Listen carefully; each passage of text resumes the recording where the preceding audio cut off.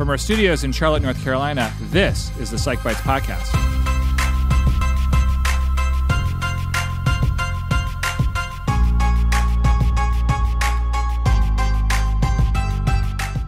The Psych Bytes podcast is where mental health professionals offer practical psychology to enhance your life. I'm Dr. Craig Pohlman, neurodevelopmental psychologist. I'm Jennifer Fights, licensed professional counselor. This time of year, it would be nice to have an episode devoted to peace, love, and holiday cheer. This is not that episode.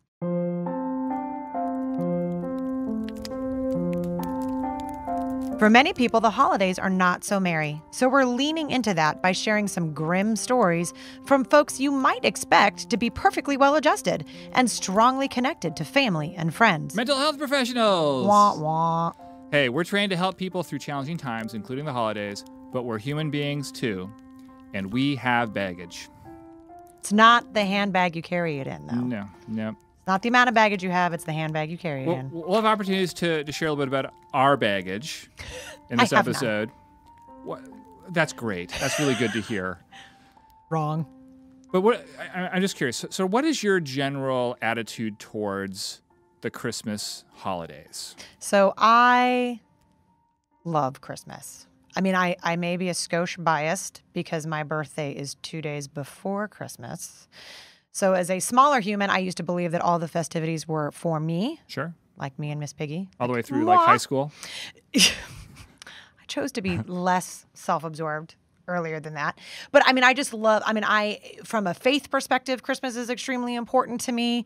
Um, I love every aspect of winter in the sense that I love sweaters and I love the romantic idea of crisp fires and warm coffee and all of those things. But then I just, I love what Christmas stands for. I love family. I grew up very lucky that my nuclear family, so my parents and my siblings, we were very close. And I'm significantly younger than my two brothers. So my first brother left home when I was six, and then my next brother went off to college when I was eight. And so Christmas and the holidays meant they were coming home, which mm. was really important to me. So I just have always loved Christmas. I love midnight, late Christmas Eve service. I mean, I just love every aspect about it. The chance to unabashedly eat whatever I want. I love it. What about you? I would say that my attitude about Christmas, and this goes back to, to childhood, has been positive but fair. I've, I, I mean, really going back to being a kid, I've had some negative experiences around the holidays that have tempered my enthusiasm somewhat. Sorry. And no, it, but uh, again, overall positive. Um, Christmas is not my favorite holiday. I would I would say Thanksgiving is. um, so you know, I, I I'm a touch cynical about the commercialism, and you know, Yeah. there's some things that kind of bum me out about it. But I'm a dad, and I like seeing the the reaction that my my sons get around the holidays, and it, and there there are a lot of great things about it. So I- would agree with you that the one thing that I know that I personally battle is the commercial component of what Christmas foods have become, and the fact that like rolling into Target on October first, there is Christmas shit up. Like that drives me a wee bit bonkers.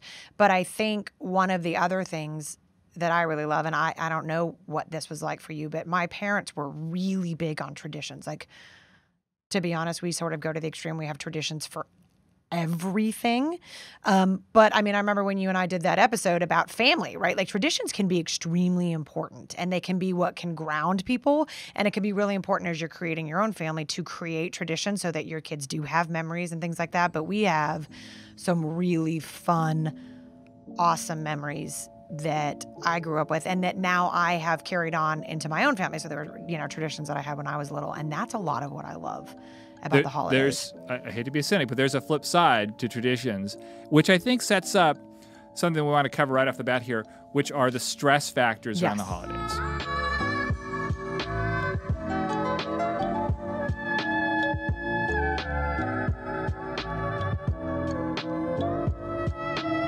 Because we're doing this whole episode because this is not always such a happy time of year Right, for people. right, yeah. We, we, we're not being Grinches here. We're being realists, and we're, we're here to help people. So, um, we came up with 10 stress factors around the holidays. And the first one is It's my favorite. communicable illnesses. So just the fact of the matter is, We're not We're- just talking STDs. we're people. we're we're indoors more often. It's Mm-hmm. the cold and flu season, and if you or your child or anyone has an illness, it can definitely sap morale. Isn't that that story that you had from one of our previous podcasts where y'all were over? I've had a few like that. I've had a few like uh, uh, when one of my sons, I, actually when Josh was a baby, so he was just a couple of months. I had the most horrific head cold, and we were traveling as well. We're going to get to that in here in a second, and it it almost ruined Christmas for me. It was just. I think I remember that. I think that's a story. Did you guys end up in a, a This- hotel? Gosh, there's more than one. Yeah, this is Oh, I'm sorry. yeah. So that that that's one we have to acknowledge. Um, financial stress.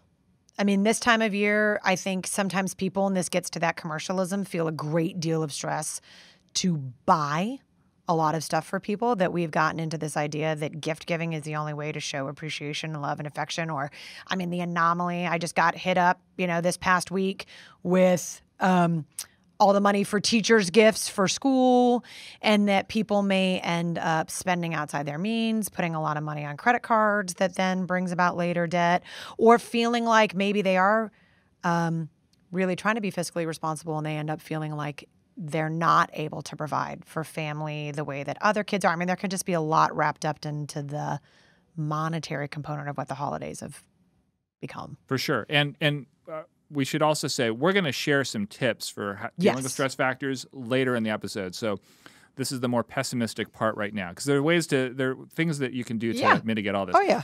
Third stress factor, alcohol consumption.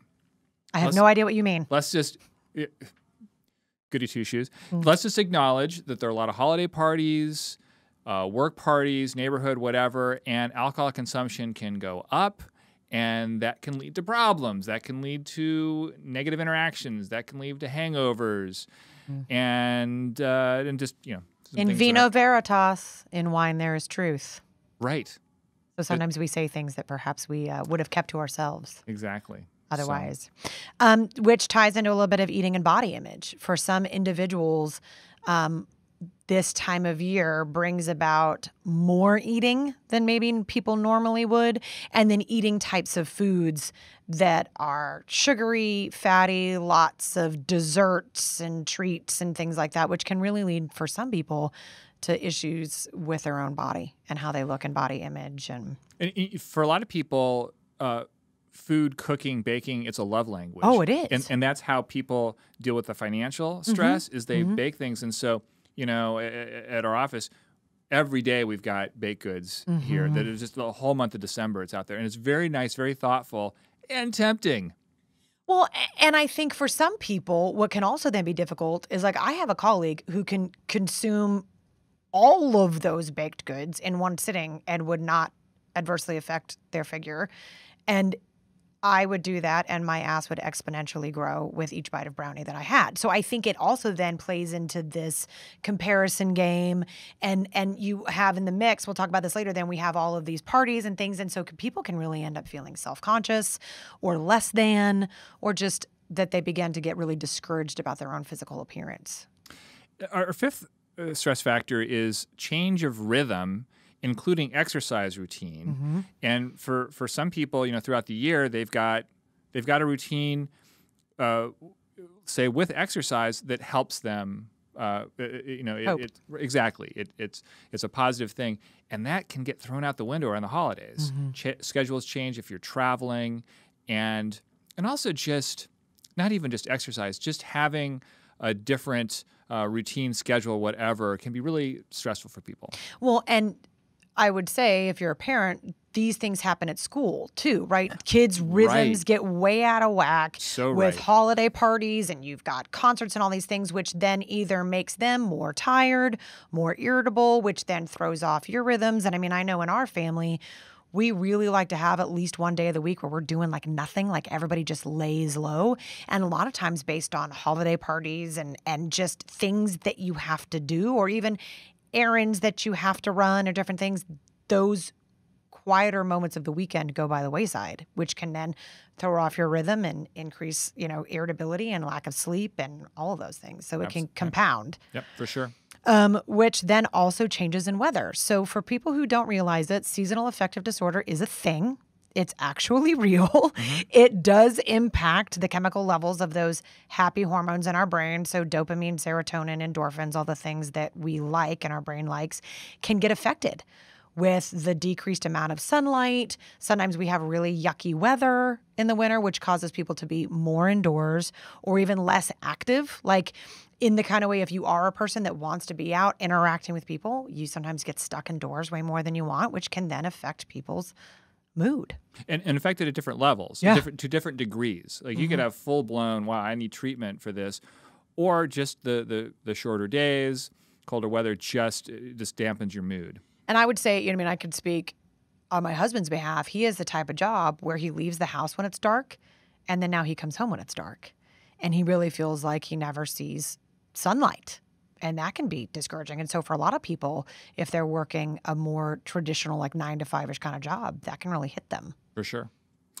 So the number seven stress factor, entertaining, and the and you know, throwing a party is a lot of work, and also entertaining just having guests over if you're you know out of town guest family, uh, and, and that's it's stressful on a number of levels. It, it does hit you financially. It hits you in terms of planning time, cleanup time. I got to tell you, we, we had for years back in my hometown of Montana, we had a holiday party every year. And I don't know how we ever made it through year after year, how we kept doing it because between my brother, my mom, and Was my this step, your mom or your dad? this is my mom Mom's and stepdad. dad, okay. Yeah. So the four of us, we always had fights leading up to the party in terms of planning, and then we and then we had a great time at the party, and we always had fights the next day about cleaning up. So, but isn't it funny that you guys kept doing it? I mean, I think so. This, this That's must be a little bit of of what insanity, right? Yeah, well, yeah, but that it must be. You know, is that a piece of what you were referencing around this idea of traditions, Right. Of getting stuck Yep. with something, but I think too. Um, that entertaining piece can also feed into people's social anxiety, and there's so much pressure around what we're supposed Yes. like. And I, this is what I don't love about the holidays: is there all these supposed tos have said we are supposed to do this. You know, That's the flip side of tradition. Uh huh. That's the dark side of, of traditions. Yeah. Okay. So, with sometimes entertaining comes travel. The stress that comes from just getting to where you need to be, increased traffic on the roads, increased traffic at the airport, sometimes traveling with kids. And it can feel like what is supposed to be exciting and fun has become completely burdensome, like a disaster. I would say just like an important safety tip for listeners: only travel with children if you have to. Otherwise, like, just leave them at home. don't like No. yeah, don't rent kids to take with you on trips. It's not going to add Do anything to the do experience. that? No, I'm just, I'm just I was going to say, I mean, nothing would surprise me anymore. You do rent get a to a kid. certain. I, I don't know where you are. My, my my sons are now uh, 16, 13, and nine. They travel really well. Yeah. If we fly or and, and, and if we go if we drive somewhere, they're really great. But when your kids are younger, it's a nightmare. It's a headache. Oh, I, I we got we sort of put into this um, rule, which was actually kind of great. It worked out with our family dynamics. That you know, my oldest brother, when he started having kids, he put the kibosh when they're little on traveling. Like if if anybody wants to see us, y'all are going to come. Right. To us. And so once we then had kids, and we were lucky because then being 10 years and eight years younger, then once we had the little humans, they had to come. But we just, my husband and I just decided at one point, like on Christmas morning, we're in our own house. right. And that's just a rule that we put in place that here's what this is going to look like. We, we made a similar decision. Maybe we might come back and talk about that a little bit more. yeah. So number nine stress factor: interacting with extended family. And hey, sometimes There's so many great, things just in that sentence. but sometimes it's you know uh, it, it connects with travel you might be stuck in a house i say stuck I, I chose that word carefully you might be you know in close quarters with people you're just not around that much and you don't get along with that well you, or you've forgotten you're out of practice with getting along with certain people and things can surface and you can have some really difficult interactions conversations whatever Well, I think a big piece of it too is that depending on your personal family story and history, right? That holiday extended family time can breed a lot of inauthenticity, like that that people do not feel like they can be their authentic selves. They have to put on this front of whatever mom wants to hear or whatever my father-in-law wants to hear or this pressure that your kids have to be extremely well behaved like right there, there's there can really build this increased level of what what would look like social anxiety and stress around you know or waiting. I mean i know that sometimes like i get very worried about like i know that there's this x person that may say something in front of my kids right? So i have anxiety because i'm always waiting that i'm going to have to mitigate you know what what uncle so and so or aunt so and so may say. And it's like oh uh, you know? So i mean i just think that in general the extended family pressures because there is so much of this people's idea of what this is supposed to look like. Well, that sets up our 10th stress factor, which is fronting and meeting expectations. So this whole idea of putting on this who am I? This this perfect version, I would call it the Instagram version of what your family right. looks like. And you brought up when we were talking before about this like the Christmas card. My husband mm-hmm. hates the picture Christmas card because he's like you know, it's voyeuristic in nature. You don't really care about who you're getting the card from. You only want to look at the pictures, you know, and that we try to, you know, I'm always stressed out about finding the right picture. And I totally fall, like, I fall victim to this. I want our Christmas card every year for people to open it up and be like, oh. You know what occurs to me? Uh, is this, this tradition or whatever, this routine of sending the picture Christmas cards, mm-hmm didn't the advent of that come about about when social media oh, was 100%. coming online? So 100%. it's the same mentality, right? Yep. I mean, because I remember sending uh, uh, holiday cards that you I just bought at Walmart or whatever. Oh or, yeah. Or you, or I guess you could order them, but the, the customizing you might throw it. I might throw in my own photograph in there, but it's but to create the card with your family shot in there. That's an Instagram, Facebook phenomenon. But what I think is funny though is I remember my parents poring over the Christmas letter.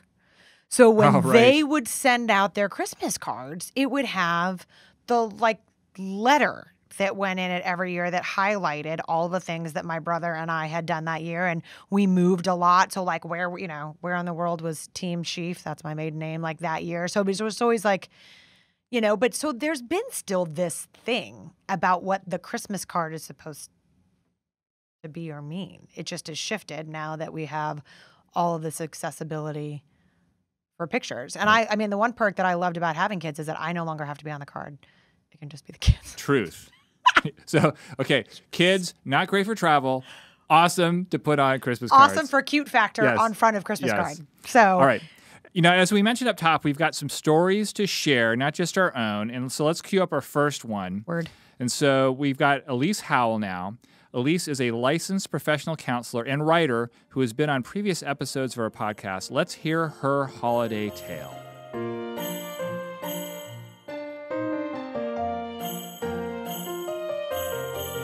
Christmas Eve was the day after my husband Stephen and I got back from our honeymoon in 2011.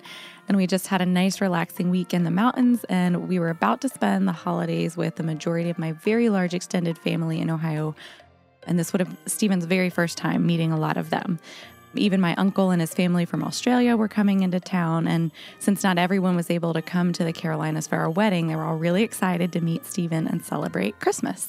And he had never been to a Christmas with us before, and our Christmases are very festive and a little chaotic too. We're all about Christmas. There are always trays and trays of Christmas cookies, parties every night between Christmas Eve and New Year's.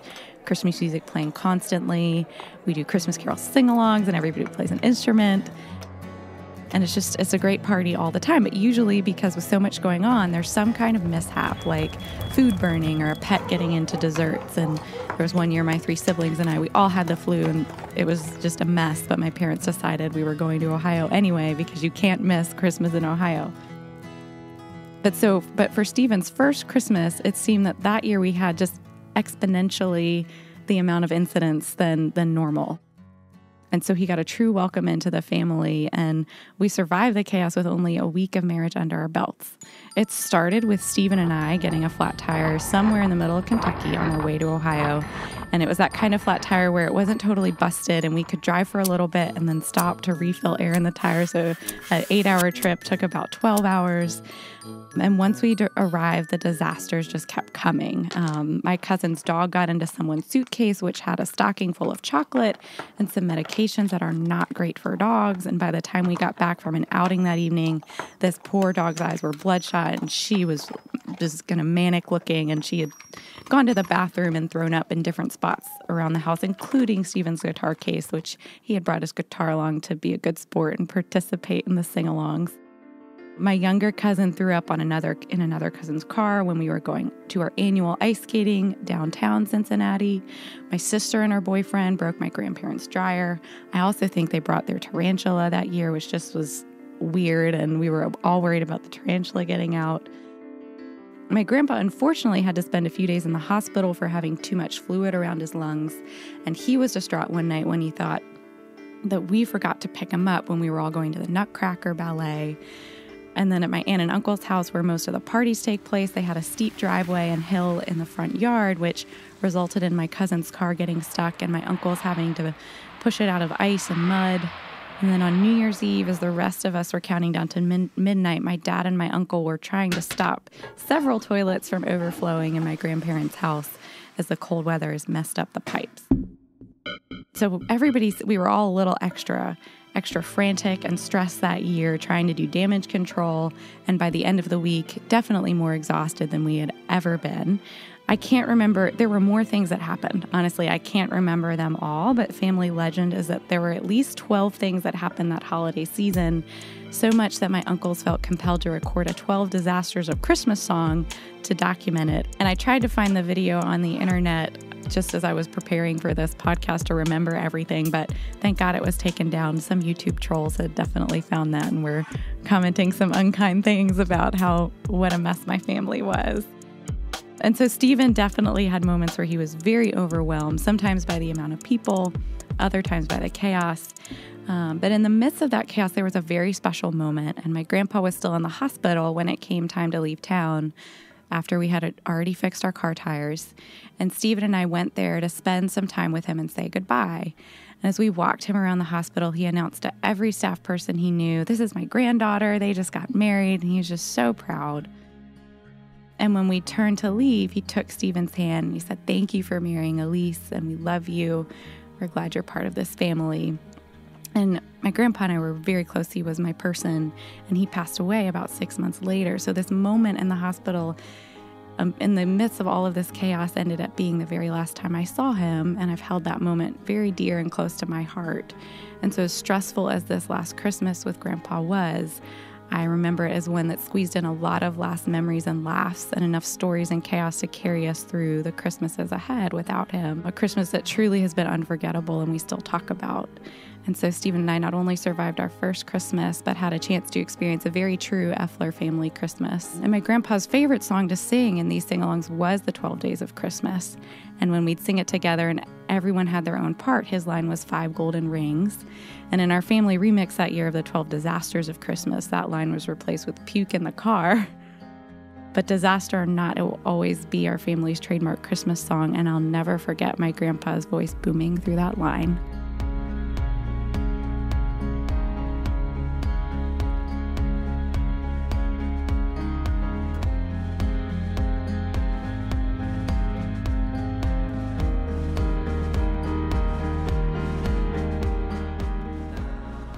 Again, that was Elise Howell with What a- her story. What a great story.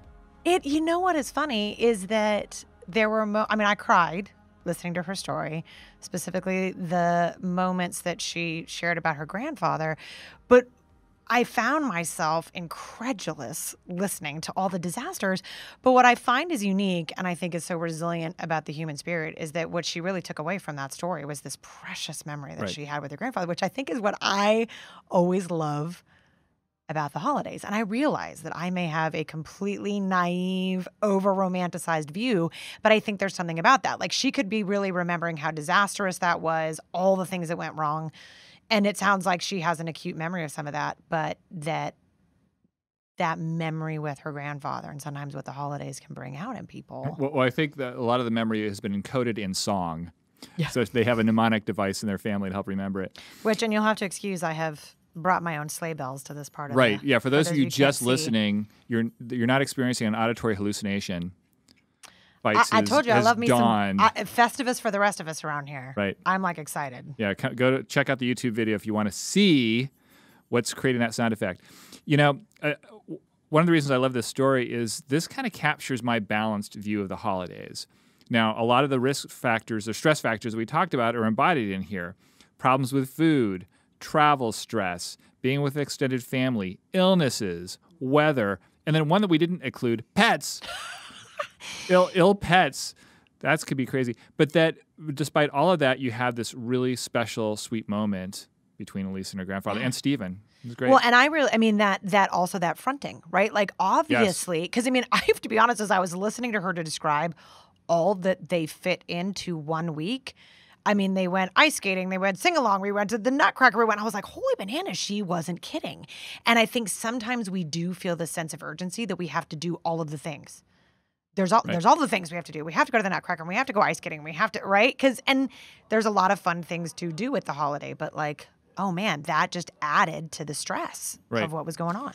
And let's I want to I want to make that that point again that traditions can be great, but the dark side of a, of a tradition is it sets up these expectations and this this rigidity.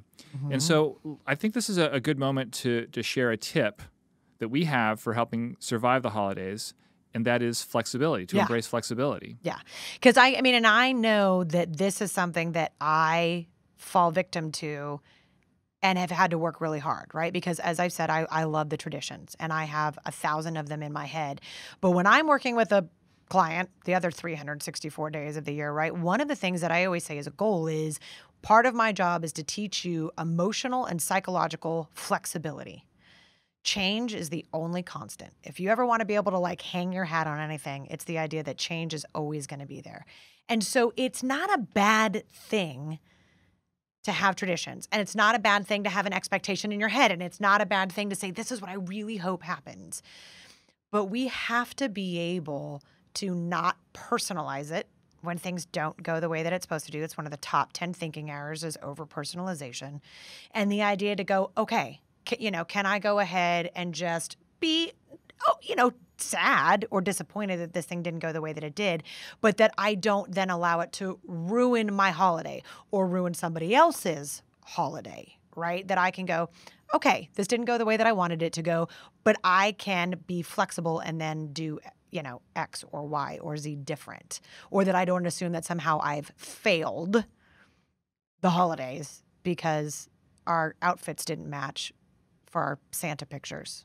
Not that that's ever stressed me out. And so, so both my wife and I, both of our parents are divorced. So the first few Christmases as a couple, we took two weeks and visited all four sets of parents.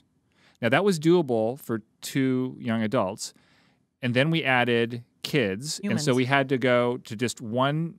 Either Montana for my family or to the East Coast for, for her family. But then we would split the two weeks amongst two between two places with young children. We did that once and said never again we and and that and one of the expectations we had to deal with there was that of our parents or the grandparents and let mm-hmm. them know that we just can't do this anymore christmas has to be about our home and the kids waking up around our christmas tree it's, those jingle bells are so awesome you're shaking sorry. your head in agreement Um, fantastic But I think you also highlight a good point for maybe the multi generational people. Like my husband and I have been very blessed that our parents, so the two sets of grandparents, never gave us a hard time when we said, we're going to be at our own house on Christmas morning. And I think, you know, my brothers and I live very far apart.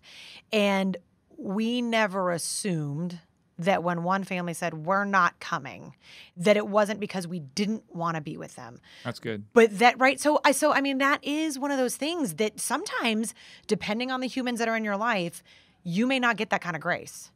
And so that ability to know what your own boundaries and values are and to say that that's not a you problem. Like it's okay to say we're not going to go anywhere other than our own home for christmas. And if other people have a problem with that then that to me sounds like a little bit of a them problem not a you problem. Right. And it's okay to set boundaries Right. around the holidays and say, yes, we're going to do that, or no, we're not going to do that. We're coming to learn our oldest is starting to get a little overwhelmed with really large crowds. like he's entering a stage where that sort of stresses him out. And so we're just trying to be mindful in this current stage of his life. Like maybe we're not going to do the blow it out Christmas party shenanigans because that may not be great for him right now. And maybe that'll change at another point in time. But, you know, and I think that that's okay. It's Right. okay to be flexible. Well, you need to be flexible. And then it's okay to set boundaries. Embrace flexibility and boundaries too. That's that's a good part of it. Yes. All right, let's go to our next story, which is from Jonathan Hedderly, a licensed professional counselor, author, and co-host of the Shrink Tank podcast.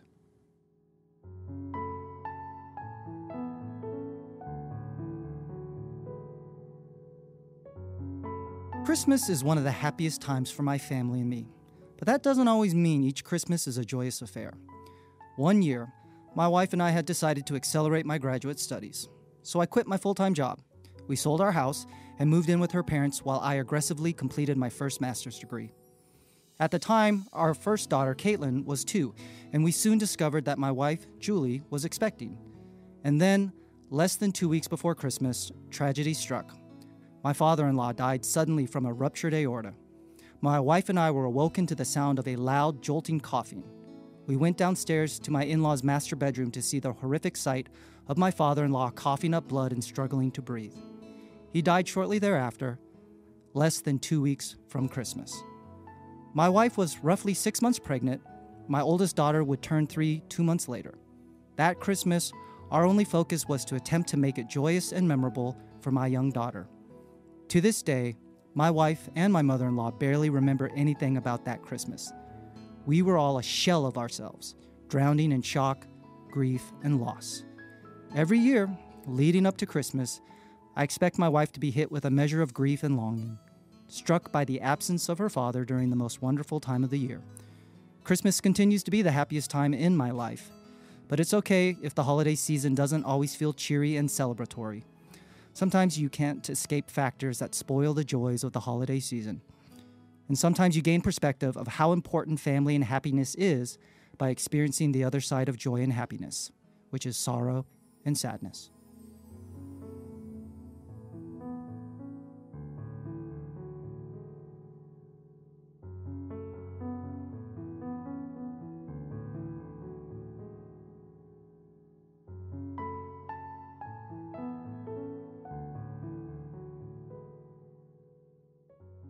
This story from Jonathan Hedderly really struck. And you know it was heartbreaking to hear. And I think though highlighted some really key things that are important for us to talk about that can happen at the holidays you know. So this story struck 2 weeks before Christmas. I think he said 13 days. So this was a, a gut-wrenching painful tragic loss right at the holidays. But for some people Christmas is so painful because it's the first Christmas or a, a what is supposed to be a joyful holiday after a loss. The loss of a child, the loss of a spouse, the loss of a partner, a parent. And so It, it, could can be a loss or a divorce. Or a divorce. I mean, some- just- there are all yeah, sorts of ways sort that of suddenly tra- there's yeah. a black hole. A void. Yes. when there's always so much attention. I mean, you think of all the famous Christmas movies are all about the coming together, right? Like romantic comings togethers or lost family members coming back home, I mean, whatever it would be. And for some people, that's just not the truth. Or that for some individuals, the most painful experiences of their life have been at the hands of their family either abuse or assault or rejection or you know painful narrow-minded judgment whatever it would be and so the holidays can be really painful for some people Yeah. and and i think it's important for us to be mindful of that There, there are two things that that struck a, a note of hope for me in in Hedderly's story. One was how they they sort of rebuilt Christmas around the experience of their children. So that was really sweet. I- it- They made it about them, but then they they drew strength from that. The second thing was um, his appreciating the contrast. So really sad, tragic time, um, but it it makes the happiness more poignant. The mm-hmm. the yin and the mm-hmm. yang, mm. as they say. and and how great of him to be able to see that right? We talk about the both and as opposed to the either or. Like it can be both sad and joyful and it doesn't have to be one or the other. They don't negate one another. And i love yay husband points to Hedderly that he really gives his wife space. Yes. That if it if it's painful, and I think that that's a good note for us to have. That sometimes, depending on what our, you know, family or friends have been through, that we need to give them that space. That this may be a really tough time of the year, and so when the rest of us want to be consuming large quantities of baked goods, that other people may just really be struggling to get out of bed, right. and to give that space and grace to Cer- people. That's a good tip. I think Mm-hmm. if you're in a relationship with your significant other, check in with that with that person. Find out what their needs are. It's not just your needs. If you've got family members, even your kids. You know, we we've got in our family we've, we've got a, a, a big change coming up in how we spend Christmas Eve, and my wife and I we need to make, make sure we get the opinions of our sons about that, so we're not just imposing it upon them.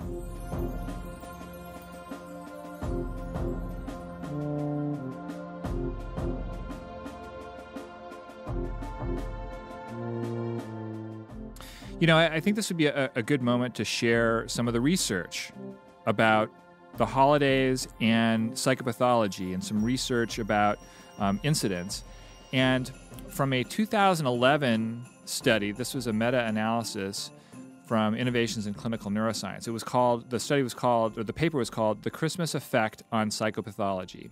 Isn't So, so obviously, what I find so striking about this is that there's enough psychopathology, not to be redundant, around Christmas just itself that Right. it that it and then I mean a meta-analysis for those people that don't live in the research world. That's when somebody's taking a global look, so meta, at all of the different research that's out there and sort of almost accumulating it. Right. It's a study of studies. There you go. all around mental illness. Mm-hmm. And a few conclusions.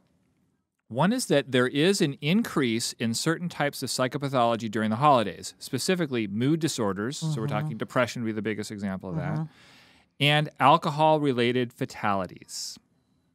Which speaks back to you know these these stressors, right? People sort of abuse alcohol during this time of year, and you know the mood. I think the other piece of it would also be anxiety. I mean, going back to that expectation, right? That Right. just the increased levels of this. What I found so interesting. So in this um, paper, why did that word just leave my brain? It said, you know, in contrast, there's a decrease in the overall utilization of psychiatric emergency services and admissions, a decrease in self harming behavior, and a decrease in suicide attempts and completions. And what is interesting is that I would disagree.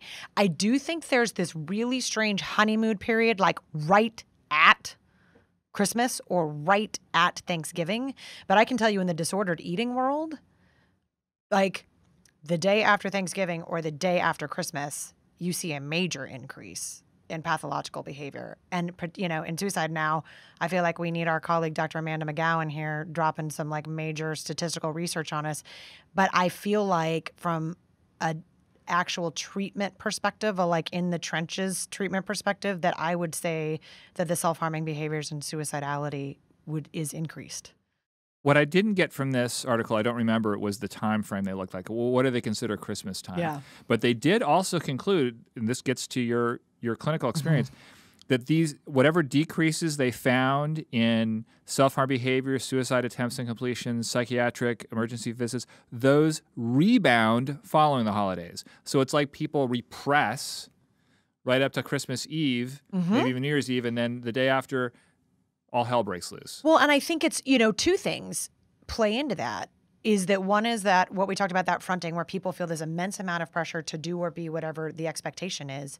And that then there can be so much pain and regret around the holidays that people really crash afterwards. And I mean, I know that I consider myself, and those of you that may know me well may disagree, but to be a generally squared away emotional human being. Craig, you may disagree. Um, but that I even feel some sense of melancholy when we have to take the trees down, you know, when everything has to go away for another year, that all of the magic, and I do, you know, I believe in the Christmas magic, that, it, I mean, I feel this sense of like, oh man, I got to wait a whole nother year, you know, so you could see for somebody that maybe did struggle on a regular basis with depression or maybe drinking to salve some of those emotions that you would really then see an increase in that. So an awareness to to be able to ask for help if you need it. Right. Including professional help. Yeah. And schedules get crazy, but if you're a person who is in uh, in regular therapy or counseling, don't take the time off on the No. holidays. Keep Yeah. it going. Yep. um, make sure that's built into the schedule. That that's your you're keeping the oxygen mask on yourself so you can take care of mm-hmm. others. Which is one of those other tips that we had talked about, you know, that we'd used the word in one of our past podcasts about this idea of margin. But that during this time of year, I think a really helpful tip for people to remember or to recognize is that you don't have to say yes to everything. You don't have to go to every party. You don't have to do all of the cookie making with your kids or whatever Pinterest is telling you the right thing to do this kind of year. Or Instagram or Oh, whatever. yeah. That it's okay to say no. It's okay to put boundaries in place. And that if you need some extra help or support this time of year, that it's that it's a good thing to ask. And that don't let if you've got a good therapy schedule or you have a good exercise regime or whatever it would be like, don't let that lapse and Right. keep that margin in place. I, I, we should note that these stories that we've heard, uh, we had Elise and then Jonathan Hedderly. We have not heard them before No. this moment, Right before so our, our reactions are in real time. But uh, we did get a hint that the next story is going to be a little more upbeat. we're not going out on the Debbie Downer. Hopefully, producer Brandon did not pump fake us on that Can't one. cry anymore. So our final story is from Dr. Melissa Miller, a licensed psychologist and film producer.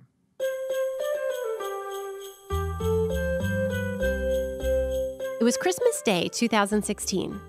One of our neighbors is a sweet 85 year old woman who lives alone with her little Scotty dog. She is always so thoughtful and has a history of bringing the perfect gifts, even though we don't know her very well. So I wanted to make sure to do something really nice for her this holiday. I found this mouth watering chocolate set that I knew she would love. I went to deliver it two days before Christmas, but she wasn't home. I tried again that same night. Again, she didn't answer the door. The next morning, I tried once again, and since she still didn't answer, I left it on her doorstep where I was sure she was going to see it. Except she didn't see it. And I started obsessively checking out my window to see if she had collected her gift. It was an unseasonably warm December, so I was very concerned about meltage with this chocolate. Christmas Eve, I made my husband go across the street to see if she had been collecting her mail, and she had, which meant that she just wasn't looking down when she opened her door. Christmas Eve actually brought a big thunderstorm with quite a bit of rain, and this is an important detail for later. On Christmas Day, she still had not picked up her gift, and it was driving me nuts. Our kids were little then, and they had gotten bikes for Christmas. We were outside on our street watching our kids ride their bikes when I noticed our neighbor in her driveway. I had a ham in the oven as we were hosting Christmas lunch in just a bit for family. I yelled to my husband to go talk to her and show her that she had a gift on her front step while I ran inside to check on the ham.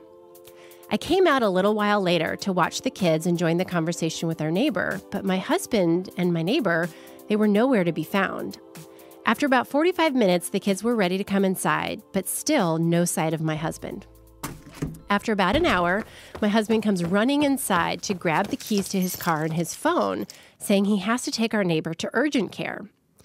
It turns out, when he walked her to the front step to show her the package, she walked up the path which had become very muddy and slick from the thunderstorm the night before. As she tries to step up on the porch, she slipped, she fell, and she couldn't get up. My husband had to pick her up and carry her inside to her couch. She called her daughter, who lives in town, with no luck. My husband wanted to stay with her until he knew someone could care for her, but her pain was getting worse and worse. She decided she needed to see a doctor, and since I couldn't reach her family, my husband said he would take her. So off they went to urgent care, just as we were setting the table for Christmas dinner with his family, who has traveled from Florida to be with us. And urgent care is shockingly busy on holidays, and with no response from her family, my husband spent four hours with her waiting to be seen. The x ray showed that she had actually broken her foot and leg in three places and was in need of surgery. Finally, her daughter called and was able to come relieve my husband. But when we found out what had happened, and everyone in our house named my gift the death by chocolate and thought it was really funny to kid me about stealthily attacking our sweet elderly neighbor. The poor woman was in a rehab facility for 10 weeks after her surgery recovering. And to this day, every time I see her, she gushes about how wonderfully valiant my husband was to help her on Christmas and how kind and amazing he is. Her hero. And thankfully, she has never said that it was all because of an ill placed gift by me.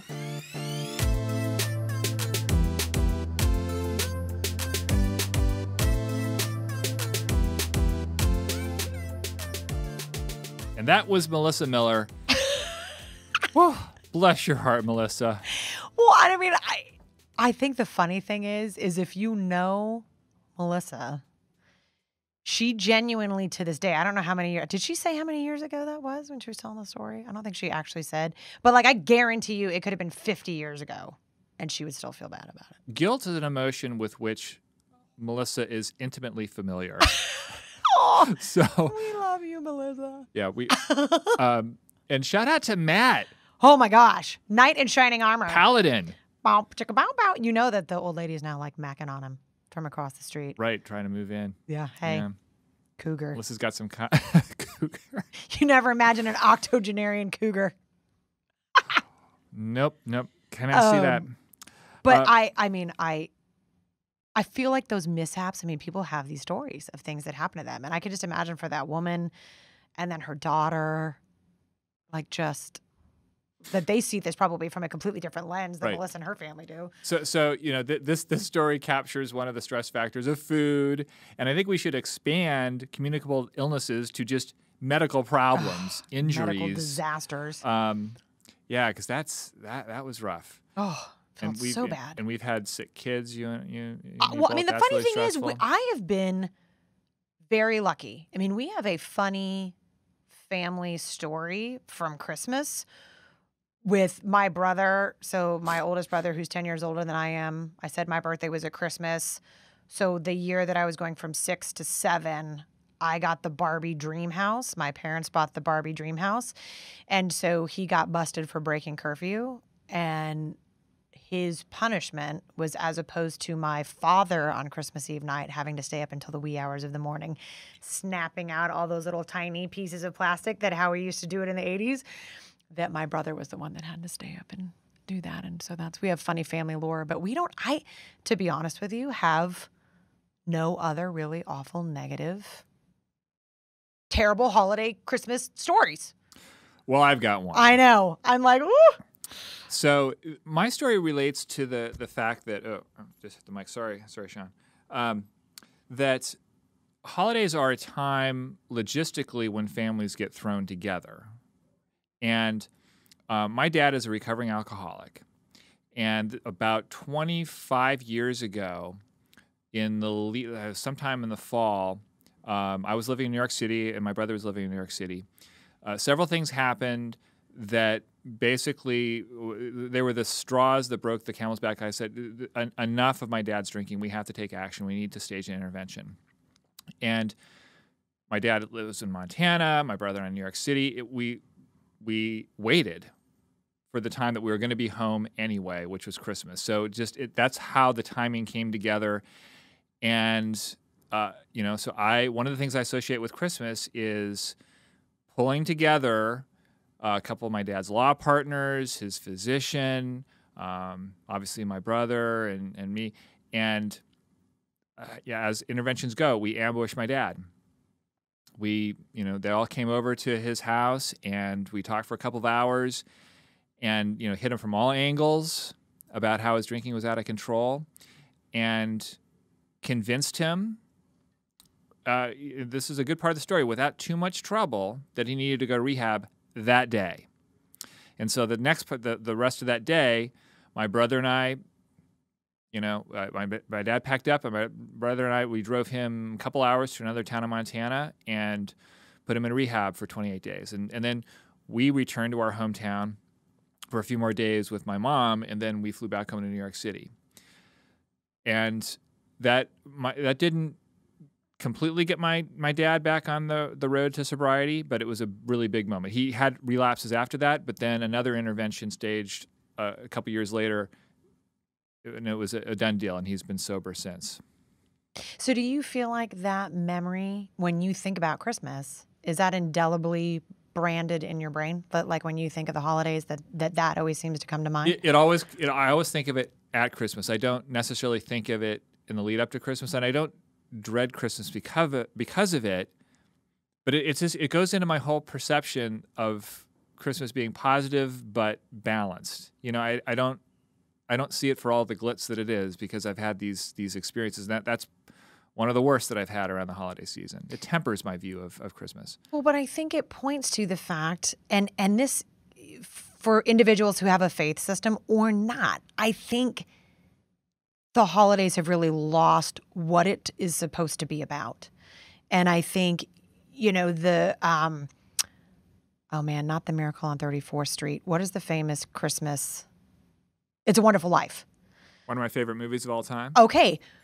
Because oh man, you can't rock the, the cat jingly ears anymore. is it hurting your noggin? I was feeling like I was hallucinating. Um redemption is the point of that story. Right? And and to me, that's the magic of Christmas, not perfect Christmas cards or you know, um, whatever it would be, perfectly staged Hollywood uh, or hol- holiday parties or whatever it would be, right? That this idea of um, family coming together, which then, but the you, what you're talking about is balance. For some people, that's extremely painful. Um, the concept of of stopping, right? Like stop doing, slow down. Well, that's the exact opposite for some people. The concept of peace. Like, I mean, there's that beautiful story out of World War II, no, World War One, World War One, where the trench fighting that had occurred. That's right. And that there was this moment on Christmas Eve night where both sides stopped and they sang in their own languages, but a known tune. I believe it was Silent Night. That's yeah. right. yeah I, I, think, that's it's right. Silent Night. You know, so one group singing in German, the other group singing in French and American, and yet there's this idea that this is supposed to be a time of year that's supposed to be different, and there is something that's supposed to be different about it, but we lose it, and I think that that's where then trauma or grief or um, avoidance or whatever it be sets in for people, and I don't know. You know, if you would say, okay, well, how would you fix it? I don't know what the simple answer to that question is but I, I have in my head like I know what I wish it was. Well, one answer, I think there are multiple things, but one answer is to communicate. Mm-hmm. And, you know, uh, communicate your needs to the other people, to the people in your life, the people you're sharing the holidays with, um, your preferences. Uh, if something is bothering you, I, I think it's okay to share that. You don't want to be a constant complainer, but if you go the other way and you hold everything inside, then you're going to have a rebound. You know, you, then you get into grudges, and then you know January is really awful because you just regret all the things you didn't say to the people who are pissing you off. All those family. And I think, you know, we had mentioned it earlier, but like it is okay to draw boundaries at Christmas. It's okay to say no. It's okay to say, I don't want to do that. Or it's okay to say, we'd like to do it differently. Or it's okay to say, we're not going to participate. That is an okay thing to do at the holidays. You don't have to be all things to all people at all times. And that you can do what is in the best interest of your little nuclear family as opposed to what is in the best interest of everybody else's Right. family. So we're we're getting close to bringing this, bringing this in for a landing. Do you have any other final thoughts or tips for for listeners and viewers about surviving the holidays? I mean, it's almost what we've talked about before of this idea of, of communication and, and understanding and expectations. And I think if you're a single human being, it's examining your own values and maybe trying to really proactively, like not waiting until December 15th to go, shit, what is it that I want to do? Right. So, really giving some thought. I think if you are part of, um, you know, a partnership or a family, that you communicate with the other person hey you know depending on what your year has looked like you know what what what are your some thoughts about this year? Is there anything that you'd like to do differently? Is there anything that you really liked to keep the same? I mean i just think it really does come back to this idea of communication and and really sort of knowing and understanding what does it mean to have your own values around the holidays what do they mean to you and that they can mean different things and that that's okay and that I mean, I think to me that the trickle down effect of that is where you're going to find maybe that piece that people are looking for.